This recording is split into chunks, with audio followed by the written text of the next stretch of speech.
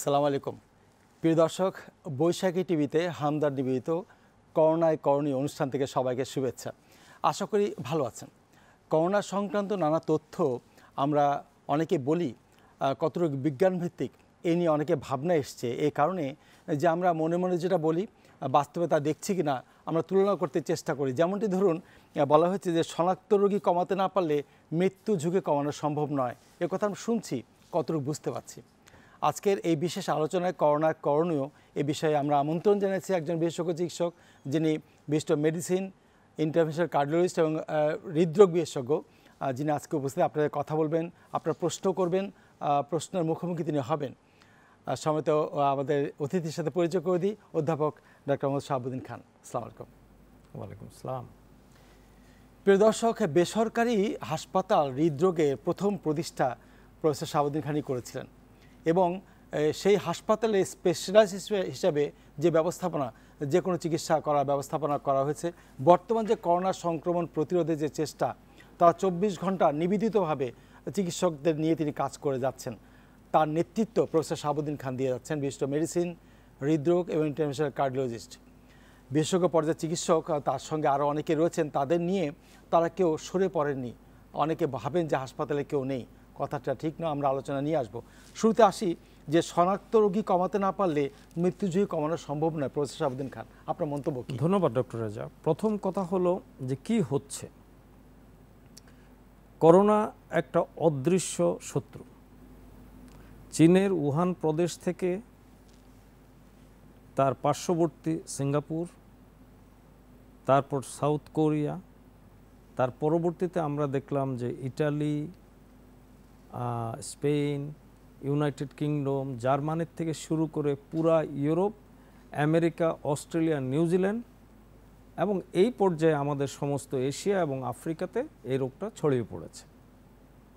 কাজেই একজন রুগীর থেকে যদিও বলা হয় up to one point five অর্থাৎ এক দশমিক সাত, কিন্তু আমরা যদি ডেমোগ্রাফিক্যালি চিন্তা করি, আমাদের দেশের যে ঘন লোক বসতি আমাদের সরকারের তরফ থেকে যতভাবে বোঝানোর চেষ্টা করা হচ্ছে যে সোশ্যাল ডিস্টেন্সিং বা সামরিক ডিস্টেন্স শারীরিক ডিস্টেন্সিং বলাটা আরও বেটার দু নম্বর হলো, সকালবেলা এখনও আমি যখন হাসপাতালে যাই, মনে হয় যেন ঈদের বাজার জমে গেছে। লোকজন ঘর থেকে বের হচ্ছেন। তাদেরকে যত করেই আমরা বোঝানোর চেষ্টা করছি সামহাও তারা যতটা বোঝা উচিত অতটা বুঝতেছে না। আমাদের যে ডিসিপ্লিন ফোর্সগুলি আছেন পুলিশ এবং সেনাবাহিনী, র্যাব, তারাও হিমশিম খাচ্ছেন। তার পিছনে যে একেবারে কারণ নাই তা না, কিন্তু সবচেয়ে বড় কথা হলো, আপনি যদি নিজেকে সুরক্ষা করেন, আপনি আপনার পরিবারকে সুরক্ষা দিচ্ছেন, আপনার পরিবার যদি বাঁচে, পুরা দেশ বাঁচে, পুরা পৃথিবী বাঁচে। ধন্যবাদ। আর সুরক্ষা নিজের হাতে একটা প্রশ্ন না করে পারছি না।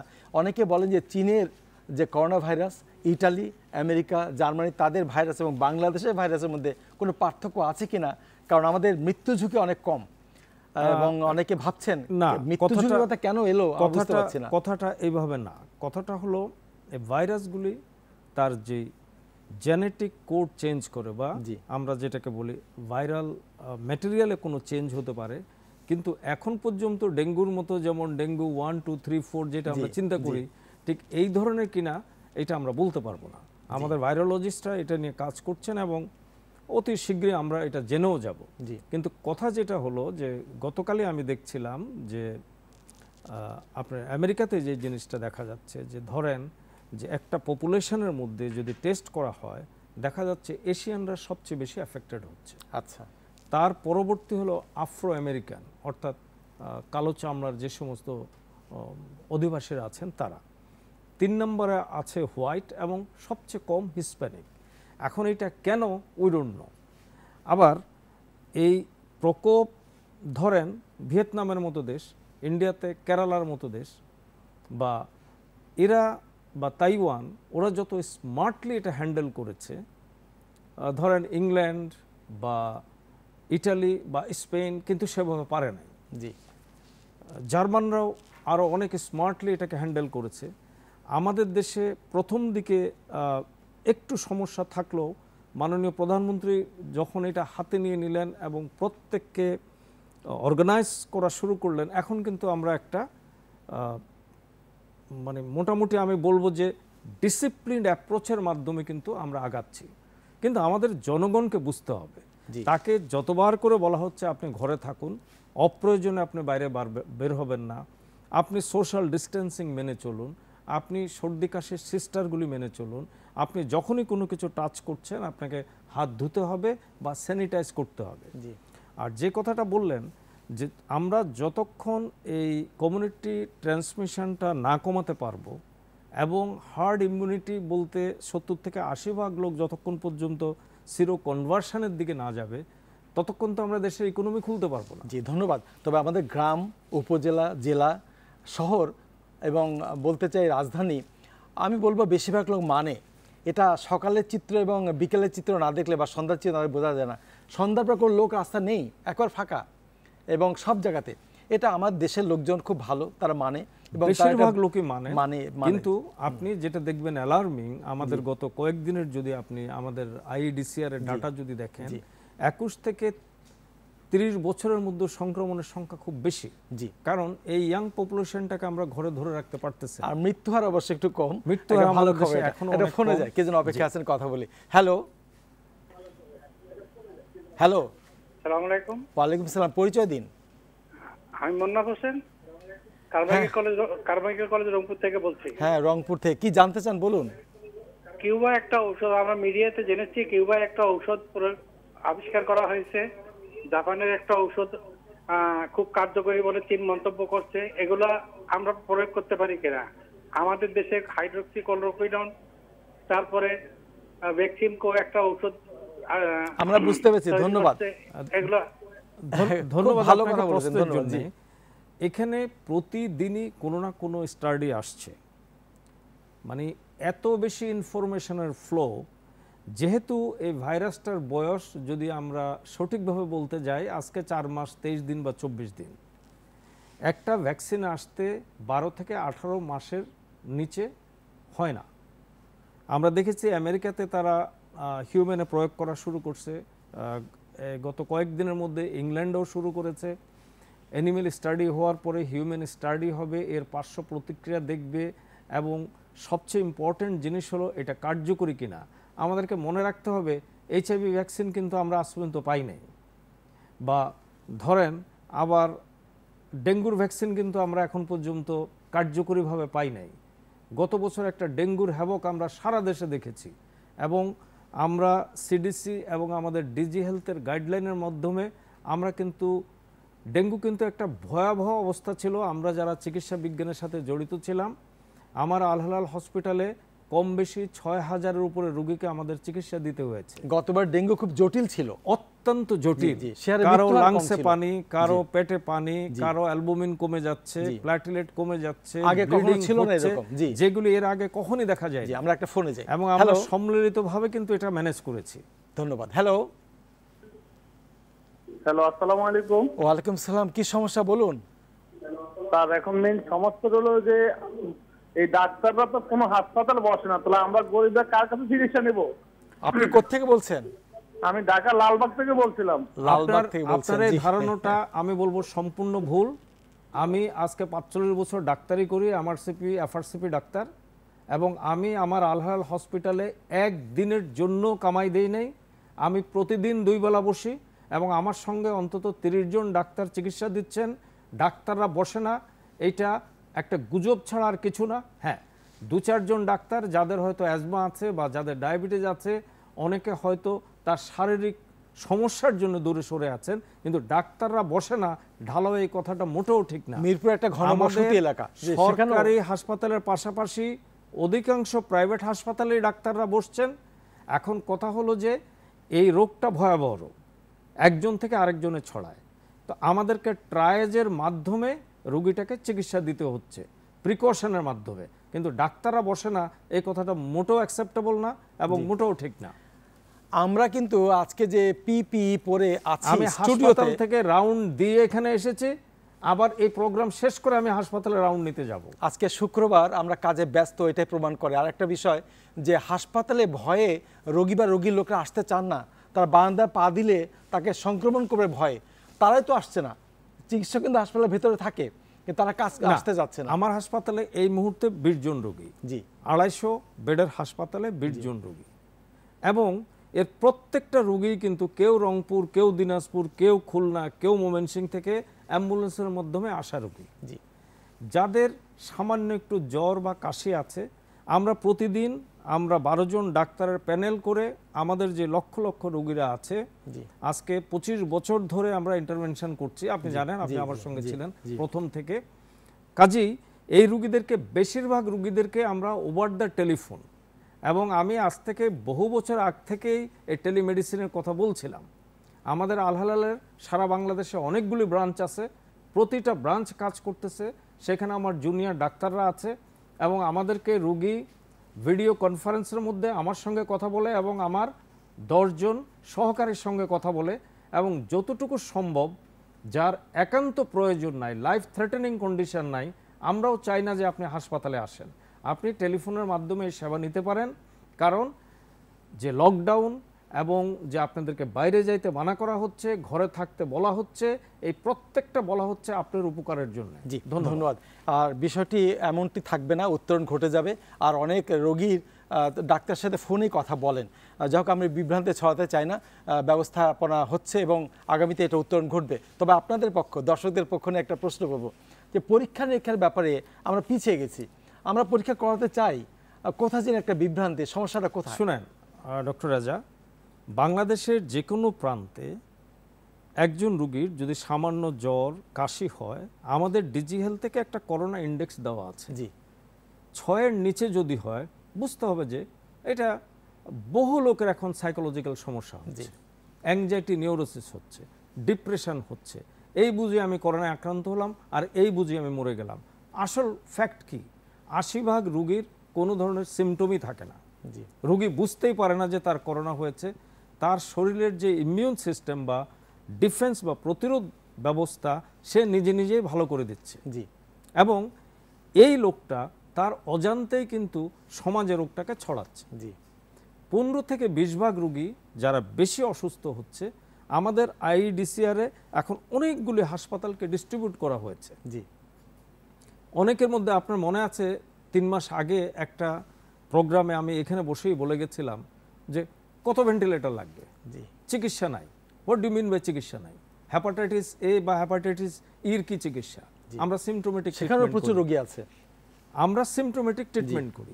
যার সামান্য জ্বর সর্দি গায়ে ব্যথা সিম্পল প্যারাসিটামল অ্যান্টিহিস্টামিনের মাধ্যমে সে এমনিই ভালো হয়ে যায়। জি। হ্যাঁ যাদের অক্সিজেন স্যাচুরেশন কমে যাচ্ছে যাদের নিউমোনিয়া ডেভেলপ করতেছে যাদের লাংসে পানি চলে আসতেছে যাদের হার্টের সমস্যা হচ্ছে যাদের কিডনি শাটডাউন হচ্ছে যাদের লিভার ডিরেজমেন্ট দেখা দিচ্ছে ওই ব্যক্তিদের হাসপাতালে ভর্তি হতে। আমি যদি একজন ইন্টারনিস্ট হিসাবে যদি যে কোনো রোগ সেটা যাই হোক আমরা প্রথমে কি শুনতে চাই রুগীর থেকে? তার সিমটম জি। অর্থাৎ রুগীর কি কি সমস্যা হয়েছে? জি। এটা বেস করে আমরা রুগীটাকে কিছু পরীক্ষা নিরীক্ষা করি যেটাকে বলে ক্লিনিক্যাল ফাইন্ডিং জি। এবং তার থেকে আমি একটা প্রভিশনাল এবং একটা ডিফারেন্সিয়াল ডায়াগনোসিস তৈরি করি জি। এবং কিছু পরীক্ষা নিরীক্ষা করি এটার একটা সায়েন্টিফিক বেসিস তৈরি করার জন্য। জি। বাংলাদেশের যে কোনো প্রান্তে যদি একটা রুগীর এখন সর্দি জ্বর বা কাশি হয় আমরা করোনা ইন্ডেক্সে ফেলে তার যদি একটা সিম্পল সিবিসি করি কমপ্লিট ব্লাড যেটা গ্রাম পর্যায়ে যেটা প্রতি গ্রামেই আছে বলা চলে প্রতি ইউনিয়ন পর্যায়ে আছে। তাহলে তার লিকোসাইট কাউন্ট আমরা যদি তার লিম্ফোপেনিয়া পাই অর্থাৎ লিম্ফোসাইট কাউন্টটা কমে যায় তার যদি মনোসাইট কাউন্ট খুব কম থাকে তার যদি প্লাটিলেট কম থাকে অনেক ক্ষেত্রে নিউট্রোপেনিয়াও থাকতে পারে তবে বেশিরভাগ ক্ষেত্রে নিউট্রোপিল কমে না। জি। দুই নম্বর হলো তার একটা সিআরপি জি। যেটা ছয়ের উপরে যদি যায় এবং যদি কারও কাশি বা শ্বাসকষ্টের কথা আসে। একটা সিম্পল চেস্ট এক্সরে করি জি। এবং চেস্ট এক্সরেতে যদি কোনো গ্রাউন্ড গ্লাস অ্যাপিয়ারেন্স বা কিছু পাই কিছু লক্ষণ যদি প্রকাশ পায় পায় তাহলে আমাদের আইডিসিআর এর নির্দিষ্ট সেন্টারগুলি রেখ- আছে যেখানে আরটিপিসিআর এর মাধ্যমে এটা শনাক্ত করা হয়। এবং এখন এত সুন্দর সিস্টেম করা আছে যে প্রথম প্রথম লোকজন কমপ্লেন করছিলেন টেলিফোনে পাচ্ছেন না ঢুকতে পারছেন না। আরে ভাই everything has a learning curve এটা শিখে উঠতে এটাকে গুছাইতে তো সময় লাগে। আপনি রাতারাতি তো আর সব কিছু পাবেন না। জি। তাহলে আইডিসিআর এর মাধ্যমে আপনি বহু সেন্টারে এখন চেক করতে সেখানে কন্ট্রোল রুমে পঞ্চাশ জন ডাক্তার কাজ করছেন। হ্যাঁ, এক লক্ষের ফোন আসে। একটার থেকে আমরা এখন বোধহয় আঠারোটাতে গেছি যাচ্ছি। আমরা পঞ্চাশ একশো থেকে করতে করতে এখন তিন সাড়ে তিন হাজার টেস্টে যাচ্ছি। কিন্তু কথা হলো যে আমাদের টেস্টের পরিমাণ আরও অনেক বাড়াতে হবে। পৃথিবীর বিভিন্ন দেশে আমাদের যারা নীতি নির্ধারকরা আছেন তারাই ঠিক করবেন যে র্যাপিড টেস্ট এবং সেটা কার্যকারিতা সেটা ফলস পজিটিভ জি। হয় কিনা বা তার মধ্যে বেস্ট যেটা আমি মনে করি যেমন আমরা যে বিপদে আছি জি। ধরেন আমি আমার হাসপাতালের পাঁচশো অষ্টআশি স্টাফকে আমরা তিন ভাগে ভাগ করে ফেলেছি। জি। Group A group B group C আমরা এক গ্রুপ দশ দিন করে কাজ করি আমরা যারা সিনিয়র কনসালটেন্ট আমাদের তো কোনো মাপ নাই। কারণ একটা অ্যানজিওপ্লাস্টি করতে হলে আমাকে লাগবেই। জি। এবং প্রতিদিনই একজন দুজন করে পেশেন্ট সারা বাংলাদেশ থেকে অ্যাম্বুলেন্সের মাধ্যমে আসছেন। এখন তবে একটি কথা আপনি যদি লকডাউন হন হাসপাতাল লকডাউন হ্যাঁ, কিন্তু। এখন ফোন এসে কথা বলি। জি হ্যালো হ্যালো হ্যালো সালাম আলাইকুম। ওয়ালাইকুম সালাম কি সমস্যা বলুন? হ্যাঁ আমি জানতে চাচ্ছি যে আমরা শুরুর দিকে চার পাঁচশো টেস্ট করানো হতো আর এখন টেস্টের সংখ্যা অনেক বেড়ে গেছে। জি। যে কারণে আমরা দেখতে পাচ্ছি যে রোগীর সংখ্যা অনেক বেড়ে যাচ্ছে। জি। তো আমরা যদি আরও ব্যাপকভাবে টেস্ট করানোর সুযোগ মানে ইয়ে করা যায় যেমন বিভিন্ন জায়গায় বুথ করে আমরা বিদেশে দেখছি বিভিন্ন জায়গায় বুথ করে সেখানে টেস্টের পরিমাণ এইভাবে বাড়ানো যায় কিনা? সেক্ষেত্রে আমার যেটা ধারণা যে রোগীর সংখ্যা আরও বেশি দেখা যায়। ধন্যবাদ ধন্যবাদ। যে জিনিসটা হচ্ছে যে আমাদের কমিটিতে যারা আছেন অত্যন্ত শিক্ষিত অত্যন্ত জ্ঞানী লোকজন জি। তো আমাদের ইপিডেমিওলজিস্ট বেশ অনেকজনকে আমি ব্যক্তিগতভাবে চিনি যে আর হাইলি অ্যাক্রেম পিপল এবং আমাদের ডিজি হেলথ থেকে প্রতিদিন কিন্তু এটার আমাদেরকে যে সংখ্যা বাড়ানো হচ্ছে সংখ্যা বাড়ানো হচ্ছে। তবে যে আমাদেরকে পজিটিভ এবং নেগেটিভ সাইড দেখে যে যদি যেমন ধরেন আমার পরশু দিনের এক্সপিরিয়েন্স। একটা ইনফিরিয়র এমআই রুগী আসছে রংপুর থেকে অ্যাম্বুলেন্সে করে। জি। অ্যান্ড তার ব্লাড প্রেশার কমে গেছে তার হার্ট রেট কমে গেছে বলা চলে কার্ডিওজেনিক শক এখন থ্রম্বোলাইসিসের পিরিয়ড চলে গেছে কারণ উনি চব্বিশ ঘণ্টা পরে আসছে। তো আমাদেরকে কিন্তু ইয়ের থেকে ডিজি হেলথ থেকে এটারও একটা গাইডলাইন দেওয়া হয়েছে যে হাউ উইল ফলো এখন রুগীটার একশো ডিগ্রি জ্বর আছে। তো আমরা আমাদের ক্যাজুয়ালিটিটাকে দুই ভাগ করে নিচ্ছি। তাতে একটা অংশ আমরা এয়ার টাইট করে ট্রায়েজ এরিয়া একটা রুগী আসার সঙ্গে সঙ্গে তার যে করোনা ইন্ডেক্সটা করে তার টেম্পারেচার তার হিস্ট্রি বিদেশ ফেরত করোনা রুগী কারও সেবা এই ধরনের কিছু আছে ফিভার কর্নার করেছেন ফিভার কর্নার করে ফেলেছি আমরা। এবং তারপরে আমরা তাকে ক্যাজুয়ালিটি প্রপারে নিচ্ছি যেখানে তার ইমিডিয়েটলি চিকিৎসাটা ইনস্টিটিউট হয়। এখন আমার জুনিয়র ক্যাজুয়ালিটি অফিসার ফোন দিয়ে বলল স্যার রুগীর তো একশো জ্বর আছে। তা আমি বললাম যে রুগীর একশো জ্বর আছে রুগী inferior my cardiogenic shock why you're bothered about it sir ভয় লাগে। হ্যাঁ। হ্যাঁ স্বাভাবিক। কারণ একজন ডাক্তার হিসেবে সে তো জানে কারণ এই রুগীটার সঙ্গে তাকে ক্লোজ কন্ট্যাক্টে যেতেই হচ্ছে। এখন এমন যদি একটা ট্রায়ালস আমাদের কাছে থাকতো যে এমন ভালো একটা র্যাপিড টেস্ট যদি ডিজি হেলথের প্রাথমিকটা জানা মাধ্যমে আমাদেরকে দেওয়া হতো যে আমাদেরকে দেওয়া হতো প্রতিদিন আমাদের থেকে ডাটা নেওয়া হতো আমরা এখন যেটা করছি যে করোনা ইন্ডেক্স যেটা ডিজি হেলথ থেকে দেওয়া হয়েছে তার উপরে প্রত্যেক রুগীর নাম লেখে তার অ্যাড্রেস লেখে তার সমস্ত হিস্ট্রি রেখে আমাদের হিস্ট্রি নোটের সঙ্গে এটাকে রেখে দিচ্ছি যাতে ভবিষ্যতে এই রুগীটাকে আমরা ট্রেস করতে পারি। হাসপাতালে কজন এলো কজন গেল এগুলো কি অনেকে মিথ্যা তথ্য দেয় কি? না এটা রোগীরা কন্ট্রোল রোগীরা কিছু সিমটম লুকায়। জি জি। আমরা অনেক কেস দেখেছি। যেমন আজকে সকালের ঘটনা। জি। একটা ইয়াং ছেলে hardly twenty two year old জি। এই কিছুক্ষণ আগে তার তিন দিন থেকে পেটে ব্যথা বমি জ্বর। জি। এবং একটা হাসপাতালে ভর্তি ছিল সেখান থেকে দেখা গেল যে বার্স্ট অ্যাপেন্ডিক্স। আমাদেরও সার্জেনদের নিয়ে এখন সংকুলন হচ্ছে কারণ লোকজনকে আমরা ভাগ করে ফেলেছি এবং আজকে সকালবেলা এই দুপুরের সময় আমরা ওই বাস্ট অ্যাপেন্ডিক্স প্রায় সাড়ে তিন ঘণ্টা উইথ সিভিয়ার পেরিটোনাইটিস আমাদেরকে সেটা কম তাকে স্পর্শ করতেই হলো। এবং তাকে স্পর্শ না করলে বাচ্চাটা মারা যাবে। এখন যদি কোনো একটা ট্রায়াস থাকতো যদি সম্ভব হয় তাহলে আমার মনে হয় যে ভদ্রলোক প্রশ্ন করেছেন যে র্যাপিড টেস্ট কারণ একটা আরটিপিসিআর সেট করতে প্রায় আশি লাখ থেকে এক কোটি টাকা লাগে। জি। দুই নম্বর হলো এটাকে চালানোর জন্য হাইলি স্কিল্ড পিপল দক্ষ টেকনিশিয়ান একদিনে তৈরি করা যায় এবং সেটা করতে কিন্তু বছরের পর বছর লাগে। আবার এর ডাটা ইন্টারপ্রিটেশন এই আরএনএ কে কপি করা ইটস নট ইজি জব মুখে বললেই তো হবে না। আরেকটা বিষয় আসে এই যে অনেকে ভাবেন যে করোনা আক্রান্ত রোগীদেরকে একটা পর্যায়ে ভেন্টিলেটর নেওয়া হয়। আর ভেন্টিলেটর যাওয়া মানে বাঁচার আশা নেই। এ কথা কেন বলা হয়? এই কথা ঠিক না। এই জন্য ঠিক না যে আমরা সারা পৃথিবীর ডাটা যদি দেখি বহু রোগী ভেন্টিলেটরের থেকেও বেঁচে আসছে। বেঁচে আসছে। এখন কত লোক কখন ভেন্টিলেটরে দেই আমরা? আমরা স্বাভাবিকভাবে ভেন্টিলেটরে কখন দেই? যখন আমার একটা রোগী ইন্ট্রাক্টেবল হার্ট ফেলিউরে তার অক্সিজেন স্যাচুরেশন ধরে রাখতে পারতেছে না অর্থাৎ তার লাংস কাজ করতেছে না বা একটা অ্যাডাল্ট রেসপিরেটরি ডিস্ট্রেস সিনড্রোম অত এত সিভিয়ার অ্যাজমা যে তার বা সিওপিডি বা সিওপিডি অ্যাজমা ওভারল্যাপ সিনড্রোম।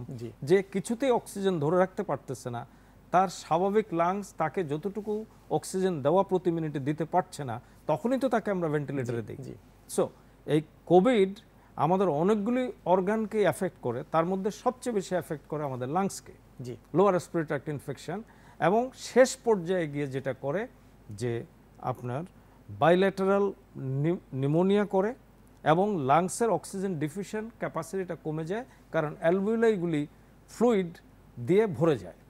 তো এই ক্ষেত্রে ভেন্টিলেশনের উপরও অনেকগুলি প্রোগ্রাম কিন্তু এখন চলে আসছে যে আমরা যদি এই রুগীটাকে যখন লো তার অক্সিজেন স্যাচুরেশন লেভেল দেখায় তাকে দিনে যদি ষোলো থেকে আঠারো ঘণ্টা প্রোন পজিশনে রাখা হয় অনেক রুগীকে ভেন্টিলেটার না দিয়েও পারা যায়।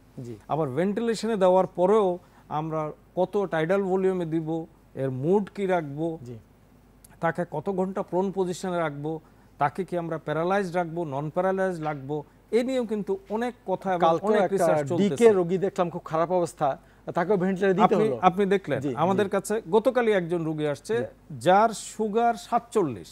জি। সে ভদ্রলোক জানতোই না বত্রিশ বছরের ছেলে যে হি ইজ ডায়াবেটিক তার অক্সিজেন স্যাচুরেশন কমে যাচ্ছে তার আমরা কোনো ব্লাড প্রেশার পাচ্ছি না এবং আমাদেরকে আপনি আপনাকে বসায় রেখে আমরা গিয়ে ইন্টুবেট করে ওই পেশেন্ট আলহামদুলিল্লাহ ওই পেশেন্ট এখন ভালো আছে। কাজেই যে কোনো পেশেন্টকে আমরা ভেন্টিলেটর করি এখানে মৃত্যু হার অনেক বেশি। আর হাসপাতালে চিকিৎসা হচ্ছে না এটা ঠিক নয়। আমি এটা একটা গুজব এটা একটা গুজব এবং আমি রিকোয়েস্ট করব আমি অত্যন্ত শ্রদ্ধা জানাই এই মুহূর্তে আমাদের মাননীয় প্রধানমন্ত্রী শেখ হাসিনার নেতৃত্বে দেশের ডাক্তার নার্স স্বাস্থ্যকর্মী আমাদের যে অ্যাডমিনিস্ট্রেটিভ আমাদের ডিজি হেলথ এবং আইডিসিআর এর প্রত্যেকটা লোক দিনরাত কাজ করছে।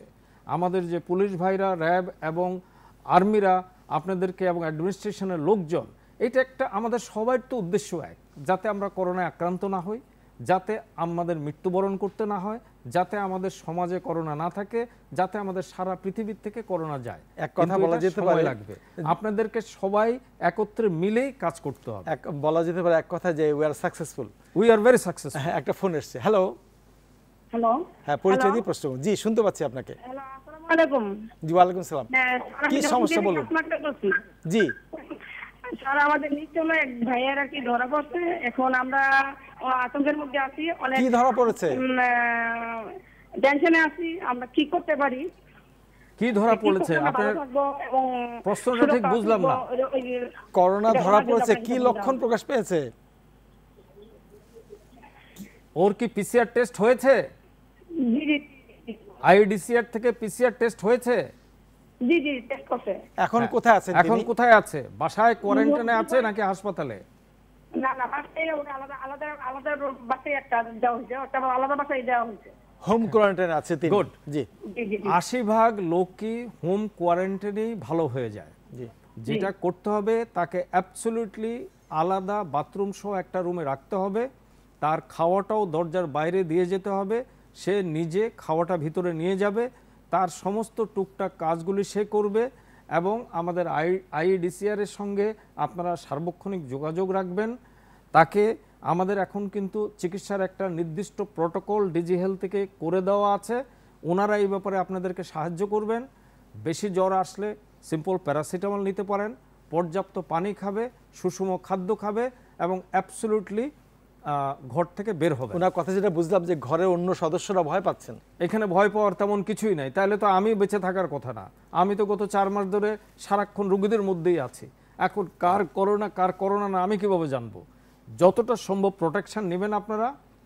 ওর রুমের কাছাকাছি যেতে হলে আপনাদেরকে অবশ্যই মাস্ক যদি সম্ভব হয় চশমা এবং গ্লাভস পরে যাবেন। ওর কোনো কিছুই আপনারা টাচ করবেন না। তার কাপড় চোপড়গুলি চেষ্টা করতে হবে তাকে নিজে ধোয়ার এবং আগামী চোদ্দ থেকে একুশ দিন কোনো অবস্থাতে তার যদি অবস্থা খারাপ হয়, আপনারা আইইডিসিআরে যোগাযোগ করে নির্দিষ্ট হাসপাতালে নিয়ে যাবেন। তবে পজিটিভ দিক হলো এটা যে আশি ভাগ রোগী কিন্তু বাসায় থেকে ভালো হয়ে যায়। ধন্যবাদ। সারা দেশ না, সারা বিশ্বের একটা কথা বোধ হয় করোনা মানে মৃত্যু। এই কথাটা আমরা তো মেনে নিতে পারছি না। করোনা মানে মৃত্যু হবে। করোনা মানে মৃত্যু হবে আশি ভাগ করোনা রোগী তো বুঝারই কোনো উপায় নাই যে করোনা হয়েছে। সে তো এমনি সর্দি কাশির মতো ভালো হয়ে যাচ্ছে। সমাজে দুই নম্বর কথা হলো যে করণীয় কি এখন? আমাদের সাধারণ লোকজনের আজে বাজে গুজবে কান দিবেন না। অনেক ধরনের কথা আসছে এ এটা খেলে ভালো হবে ওটা এগুলি কোনোটাই ঠিক না। আমাদের নির্দিষ্ট কিছু জিনিস আছে যে আমাদের শরীরের যে প্রতিরোধ ক্ষমতা বা ইনার্ট ইমিউনিটি যেটা এটাকে বুস্ট করতে হবে আমাদের। যাতে আমরা সহজে করোনা দ্বারা আক্রান্ত না হই। প্রথম কথা হলো, যখনই কোনো কিছু টাচ করবেন, হয় সাবান দিয়ে হাত ধুয়ে ফেলবেন, এমনকি আমি যে গ্লাভস পরলাম, এর থেকে যে করোনা আমার হাতে লাগবে না, কোনো বিশ্বাস নাই। আমার হাতে কিন্তু দুইটা গ্লাভস আমি এই প্রোগ্রাম শেষ করে কিন্তু উপরের গ্লাভসটা ফেলে দিব।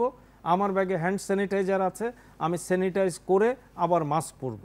আমরা শুধুমাত্র প্রোগ্রামের জন্যই মাস্ক খুলে রেখেছি, তা নাহলে মাস্ক ছাড়া আমরা হাসপাতাল এনভায়রনমেন্টে বা রাস্তাঘাটে এক সেকেন্ডের জন্য থাকি। তবে এখানে আমরা শারীরিক দূরত্ব মেনটেন করছি। জি যেটা করতে হবে আগামীকাল থেকে সম্ভবত মাহে রমজান আসছে।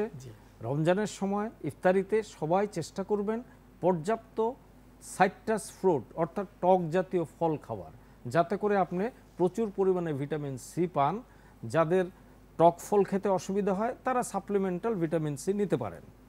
জিঙ্ক একটা আয়নোফোর হিসাবে জিঙ্ক আমাদের যে নিউমোসাইট আছে, তাকে অ্যালকালাইন করে দিনে বিশ মিলিগ্রাম দুইবার নেওয়া যেতে পারে, এতে কোনো ক্ষতি নাই। তৃতীয় হলো যে যাদের হাঁচি কাশি আছে, তারা যাতে করোনার সঙ্গে কনফিউজ না হন, এই জন্য একটা অ্যান্টিহিস্টামিন বা একটা মন্টিলুকাস নিতে পারেন এই সময়। যাদের আগের থেকে অ্যাজমা বা সিওপিডি আছে, তারা অ্যানএসিটাল সিস্টিন নামে একটা ওষুধ পাওয়া যায়, এটা ভালো কাজ করে। যাদের ভিটামিন ডি ডেফিসিয়েন্সি আছে বা যারা এখন আমরা বাইরে বের হতে পারছি না কয়েকটা স্টাডিতেই দেখা গেছে যে আড়াই হাজার মিলিগ্রাম ভিটামিন ডি আপনাকে করোনার থেকেও কিছুটা আমরা আলোচনা চালিয়ে যাব। দর্শক অপেক্ষা আছে সংযোগ নেব। হ্যালো। হ্যালো। হ্যালো। হ্যাঁ কি জানতে চান বলুন। জানতে চাই যে হোমিওপ্যাথিক চিকিৎসা? জি। এই করোনা করোনাতে যে কিছু কাজে লাগতে পারে সে বিষয়তে কোনো ধারণা দিতে পারি এই মুহূর্তে আমি যেহেতু একজন এমআরসিপি এফআরসিপি ডাক্তার আমরা যেটা বলি ইভিডেন্স বেজ মেডিসিন আমরা এমন কথা বলব না যেটা ইভিডেন্স বেজ না। কাজে হোমিওপ্যাথি কাজ করে কি করে না যেহেতু আমার আয়ুর্বেদ কোনো আছে, জ্ঞান ইউনানি নাই, আছে, জি। আমার যেহেতু কোনো জ্ঞান নাই আমি এ ব্যাপারে কোনো মন্তব্য ধন্যবাদ আলোচনা ফিরে আসি। আমাদের দর্শক মনে একটা প্রসঙ্গ রয়ে গেছে প্রশ্ন রয়ে গেছে যে আমরা যে মাস্ক ব্যবহার করি আমরা আহ, যে দামি মাস্কটি সেটা হলো N95 এন নাইনটি ফাইভ ব্যবহার করতে পাচ্ছি না। মানে কষ্ট আছে আমাদের যে এত দামি মাস্ক বাজারে পাওয়া যায় আমি তো ব্যবহার করতে পারলাম না। মাঝে মাঝে যখন আমি আমেরিকান সিএনএন বা যে বিভিন্ন প্রোগ্রামগুলি ম্যাডক্রাম যখন দেখি জি। ওখানে ডাক্তার নার্সরাই এন নাইনটি ফাইভ মাস্ক পাচ্ছে না। জি। আপনি জানেন এই এন নাইনটি ফাইভ মাস্ক নিয়ে জার্মানি কানাডা এবং আমেরিকার মধ্যে বাকযুদ্ধ চলছে। কার প্রয়োজন বেশি এটা? শুধুমাত্র ডাক্তার নার্স বা ডেফিনিট রোগীর কাছে যিনি পনেরো মিনিট বা তার বেশি অবস্থান করবেন শুধু তার জন্যই এন নাইনটি ফাইভ মাস্ক দরকার। নন কোভিড যে আছে তাদের কাছে তাদের কাছে কোনো দরকার নাই। জি। এবং দুই নম্বর হলো মাস্ক সার্জিক্যাল যে কোনো মাস্ক জি। ব্যবহার করা যেতে পারে। আমাদের দেশে আমি সবাইকে যে কথা বলি বহুদিন আগ থেকেই বলে আসছি জি। যে আপনি সুতির কাপড়ের তিন লেয়ারের মাস্ক চারটা মাস্ক যদি বানায় নেন একশো থেকে দেড়শো টাকা খরচ। জি। আপনি ব্যবহার করলেন করে সাবান গরম পানি দিয়ে ভালো মতো ধুয়ে শুকিয়ে ইস্ত্রি করে নেবেন পরের দিন আপনি এটা ব্যবহার করতে পারেন। ঠিক যেমনি আপনি আপনার একটা রুমাল ব্যবহার করে ধুয়ে পরিষ্কার করে আবার ব্যবহার করেন এবং আপনি এটা রিউজ করতে পারেন। আমি যে এই যে পিপিইটা ব্যবহার করছি দিস ইজ রিউজেবল জি। আমি আমার হাসপাতালের জন্য বারোশো পিপিএ বানিয়ে নিয়েছি যে এটা হান্ড্রেড পার্সেন্ট না আমিও জানি। কিন্তু আপনাদের কোনো কোম্পানি দিয়েছেন আর নিজেরা করেছেন এটা? আমরা আমাদের নিজেদের টাকায় করেছি। এবং আমি প্রত্যেকের জন্য তিনটা করে পিপি প্রোভাইড করেছি। কারণ আমার ডাক্তার নার্সরা যদি এফেক্টেড হয়ে যায় তাহলে চিকিৎসা দিবে কে? জি। সবাইকে এগোতে হবে। আমাদেরকে সবাইকে মিলে একত্রে এগিয়ে আসতে হবে। আরেকটা প্রসঙ্গ যে ঘরে যারা পাখি পালেন কবুতর পালেন বেড়াল পালেন কুকুর পালেন তাদের তো ছাড়তে পারছে না। তাদের খাওয়াতে হবে সময় যত্ন নিতে হবে। যতদূর ডিস্টেন্স মেনটেন করা যায় যতদূর ডিস্টেন্স মেনটেন করা যায়। কারণ আমি আবারও বলেছি এই ভাইরাসটার বয়স মাত্র চার মাস তেইশ দিন। আমাদের এখনও বহু কিছু জানা বাকি আছে। It will take long time for us আমরা জানি না এটা কতদিন থাকবে। আমরা জানি না এটা দ্বিতীয় বা তৃতীয় পর্যায়ে আসবে কিনা। কাজেই আমাদের সবাইকে একত্রে কাজ করতে হবে। আরেকটা প্রসঙ্গ যে ঘরে বাচ্চারা আছে আমরা রিমোট কন্ট্রোল টেলিভিশনের মোবাইল সার্বক্ষণ হাত দিচ্ছি। এটা যতবারই আপনি কোনো কিছু টাচ করে মোবাইলটা ধরবেন আপনার হাত যেমন স্যানিটাইজ করবেন তেমনি অ্যালকোহল বেসড হ্যাক্সাসল দিয়ে মোবাইলটা নিদেন পক্ষে তিন থেকে পাঁচবার ওয়াইপ আউট করে নেবেন। জি।